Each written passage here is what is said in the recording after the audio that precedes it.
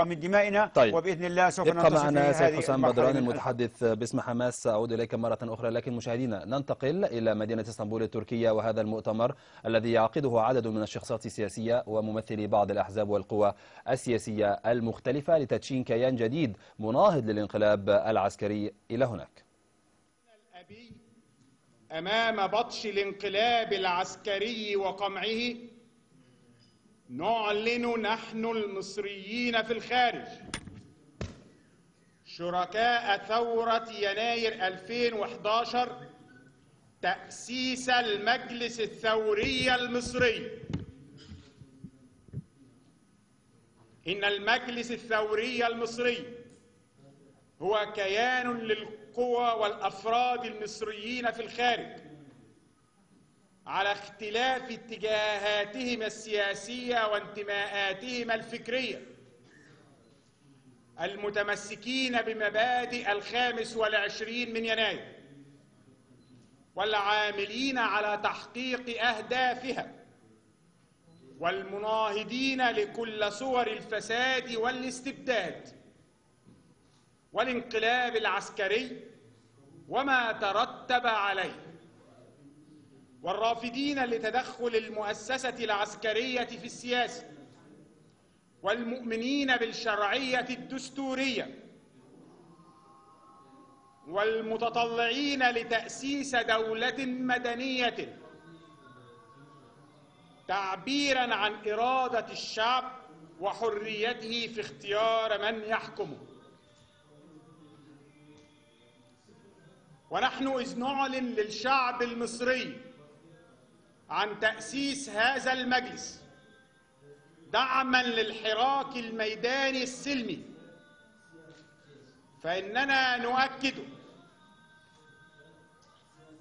أننا لسنا بديلا عن القيادة الميدانية بل مؤيدون ومساندون لخطواتها مؤكدين إصرار الشعب المصري على الحصول على الحرية والكرامة والعدالة. متمسكا بحقه الأصيل في اختيار حكامه تعبيرا عن إرادته الشعبية الحرة. ونؤكد أننا سنكرس جهودنا في التحرك الدولي على كل المستويات. خاصة السياسية والقانونية والحقوقية والإعلامية لحشد الدعم اللازم للثوار في الشارع لمقاومة الحكم العسكري وأساليبه القمعية. وسنعمل على تفكيك دولة الفساد والاستبداد. كما نؤكد على احترام الإرادة الشعبية والشرعية بعد ثورة الخامس والعشرين من يناير وقبل وقوع الانقلاب وأن الشرعية الثورية ستكون هي المرجعية الأولى لكافة السياسات والإجراءات التي ستتخذ بعد سقوط الانقلاب ضد قوى الثورة المضادة. إننا ندعو كل الوطنيين من أبناء ثورة يناير داخل مصر وخارجها للاصطفاف حول الثورة وأهدافها وتوحيد الجهود لمواجهة الثورة المضادة وانقلابها العسكري. كما ندعو كل القوى المدافعة عن حقوق الشعوب في العالم لدعم قضيتنا والانتصار لقيم الحرية والعدالة وحقوق الإنسان في مصر. وإننا ندعو جميع الوطنيين للانضمام والتعاون معنا لتحقيق الأهداف التالية. اصطفاف كافة القوى الثورية والشبابية المناهضة للانقلاب ونظام الحكم العسكري وتجاوز خلافات الماضي وبناء رؤية مشتركة للمستقبل. حشد الدعم الدولي لثورة يناير وحق الشعب المصري في إقامة دولة مدنية دستورية. تقديم الدعم الكامل للمقاومة الشعبية وكافة قوى الثورة في الداخل لإسقاط الانقلاب والحكم العسكري وتحقيق التحرر والاستقلال الكامل للإرادة الشعبية. تحقيق أهداف ثورة يناير من خلال مشروع سياسي انتقالي متكامل. رسم مسارات تفكيك مؤسسات الفساد وأركان الدولة العميقة. وإعادة بناء مؤسسات الدولة على أسس من الشفافية وسيادة القانون. بناء دولة المواطنة والعدل والحرية والكرامة الإنسانية. كما يقوم المجلس بمهامه المختلفة من خلال المكاتب الآتية. مكتب سياسي يقوم على الشؤون السياسية وإدارة الاتصالات والعلاقات الدولية للمجلس مع جميع الحكومات والبرلمانات ومؤسسات المجتمع المدني. مكتب قانوني وحقوقي يتولى توثيق وحصر الجرائم والانتهاكات في ظل الانقلاب العسكري والتواصل مع الح... والتواصل مع الجهات القانونية والحقوقية لملاحقة من قاموا بهذه الانتهاكات أمام المحاكم الدولية والإقليمية. مكتب إعلامي يتولى التواصل مع كافة وسائل الإعلام من خلال استراتيجيات وسياسات تفصيلية تحقق نشر رسالة المجلس وأعماله وتفعل التأييد. لمقاومة دولة الاستبداد والفساد وجاري تشكيل هذه الهياكل مع استكمال تأسيس المجلس الثوري حيث تم تكليف الهيئة التنفيذية للتواصل مع جميع الكيانات والأفراد الفاعلين لدعوتهم للمشاركة في تحقيق أهداف المجلس إن القوى الوطنية والثورية بعد عام من انكشاف المواقف والمؤامرات لقادرة على مواجهة الانقلاب الدموي الإرهابي الذي سرق ثورتنا وقتل وسجن أبناء شعبنا وباع وطننا ونشر فيه الفقر والخراب والإرهاب. وخطف رئيسه المدني المنتخب الدكتور محمد مرسي واعتقل النشطاء السياسيين والثوريين. وأخيرا فإن المجلس الثوري المصري لا يؤكد على حق المصريين في رفض القهر والظلم وإرهاب وإرهاب دولة العسكر. والحق في المقاومة الشعبية ضد حكم العسكر ومحاكمة القتلة والمجرمين والقصاص للشهداء والمصابين. حفظ الله مصر وشعبها وثورتها. وتقوم الدكتورة مها عذام بإلقاء البيان باللغة الإنجليزية Mrs. مها عزام will read to us the statement in English فلتتفضل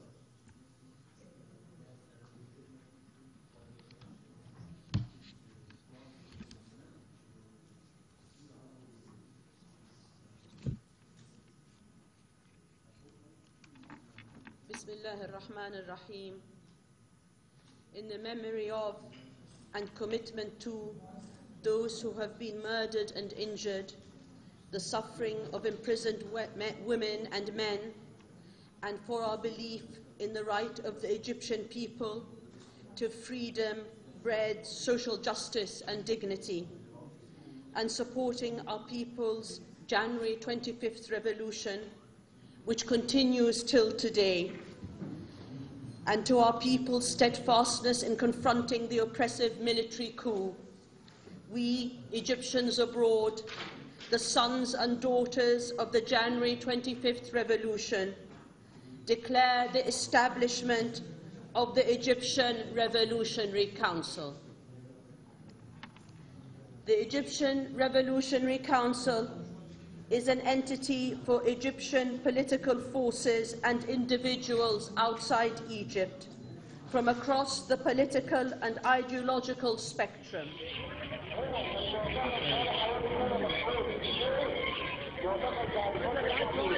يا جماعه شويه يا جماعه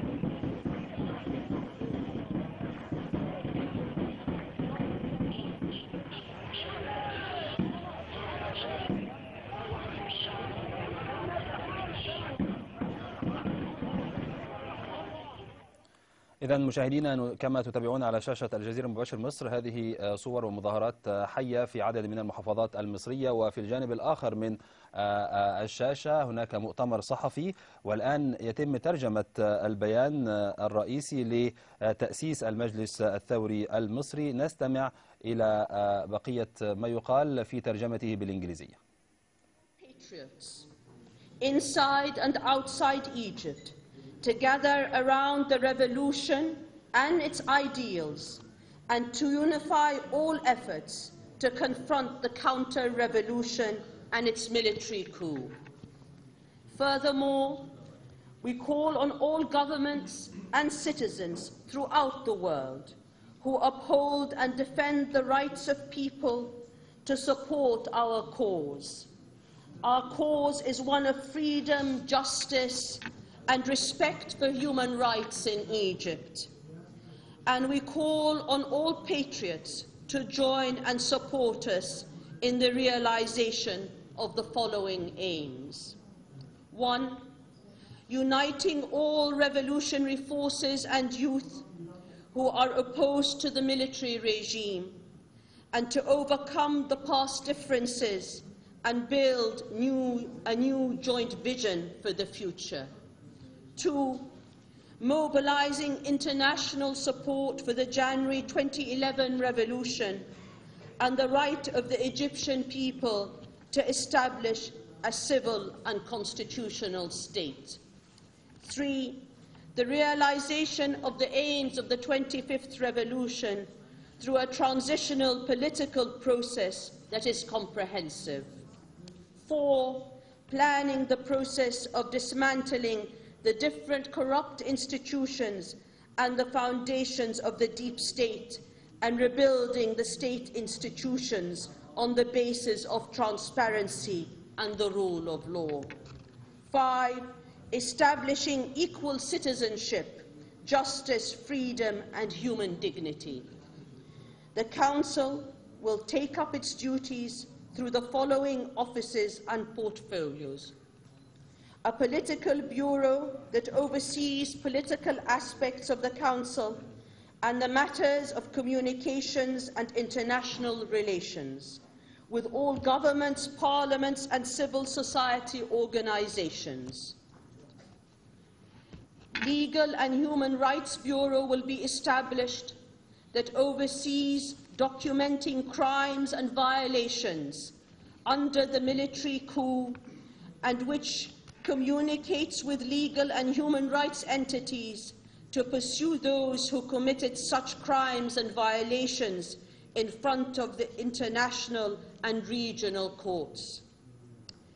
A media bureau that communicates with media outlets through detailed strategies that would ensure conveying the Council's message, work and ensure support for the resistance of corrupt and tyrannical states worldwide.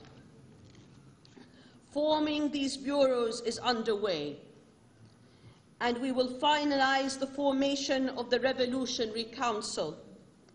The Executive Committee has been allocated the responsibility to communicate with all other groups and individuals and to invite them to participate in fulfilling the aims of the Council. The revolutionary and national forces, a year after the situation was exposed, are capable of confronting the bloody terrorist coup, which stole our revolution, killed and imprisoned our people, sold our country, and spread destruction and fear through the land, and kidnapped Dr. Mohammed Morsi, its elected president. Finally, the Egyptian Revolutionary Council asserts the right of all Egyptians to refuse tyranny, injustice, and terrorism carried out by the military state and their right in popular resistance against the military rule and putting on trial and putting on trial the killers and criminals and pursuing the rights of the martyrs and the victims. We shall continue until the aims of the revolution are realized. God protect Egypt and its people. Thank you very much.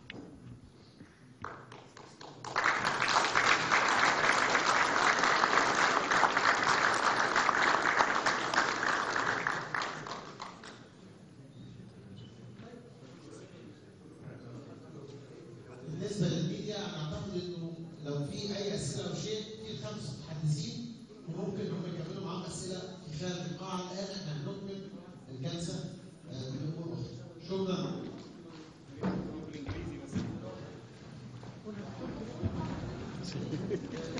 حد ممكن يقرأ بالتركي؟ There,